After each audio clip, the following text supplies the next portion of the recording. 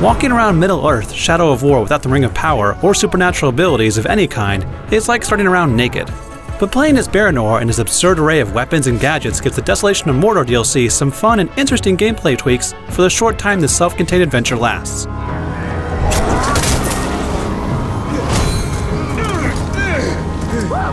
the target? The Desolation of Mordor finds Baranor far away from the fiery realm of Mordor, venturing to the dry and dust-storm-ridden realm of Lithlad, where both Uruks and Easterling mercenaries dwell, aka those guys with the elephants in Return of the King.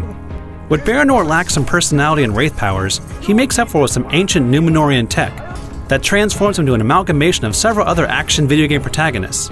And yet, instead of feeling like blatant ripoffs, all these gadgets make Baranor fun to play around with. The best part is that most of it's unlocked in the first few minutes of the story. Being mortal adds some new higher stakes to the battles. If you die, you lose all of your mercenaries and outposts and have to build up your forces from scratch. Much of your conquest will rely on these Easterling mercenaries, they aren't as colorful or memorable as the enemies you'll fight, but they do come in many variations and bring new team-based skills to the table. Each ally you summon to fight has both regular and stealth-based command skills, allowing you to target enemies and send your bodyguards out in different ways. Still, the absence of key elements of the Nemesis system left me wanting more meaningful encounters with enemies and allies alike. There's no revenge to be had if you're mortal, and the campaign ends before any Uruks can cheat death and harass you.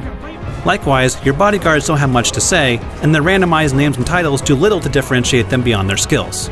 The bulk of Desolation of Mordor comes from taking all five outposts in the area before you can make the final fortress assault to win, and there are new advantages to capturing these outposts. However, once you take out the big overlord of the region, your adventure is over, and it won't take more than a few hours to accomplish that feat.